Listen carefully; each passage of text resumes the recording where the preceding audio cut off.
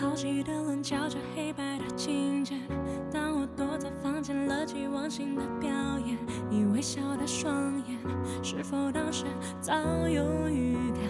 看到了今天，当我没日没夜听着最爱的唱片，当我书本每一页都画满了和弦，你从不曾熄灭我天真的火焰，不怪我在浪费时间。